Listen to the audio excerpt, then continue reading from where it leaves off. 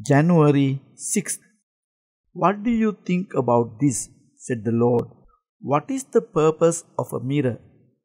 It is for the purpose of reflection, sir, replied Rahula. Even so, an action to be done by body, speech, or mind should only be done after careful reflection.